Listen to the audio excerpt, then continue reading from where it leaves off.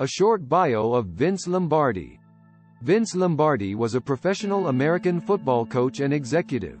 After leading the Packers to five NFL championships in the 1960s, Lombardi's primary calling is the head coach of the Green Bay Packers. He also led the Washington Redskins to a winning season for their first ever time.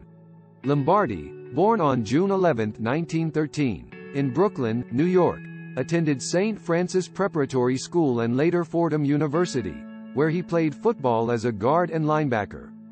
After college, Lombardi began his coaching career at St. Cecilia High School in New Jersey before becoming an assistant coach at Fordham. He also went to West Point. You can find part 2 in the comments of this video.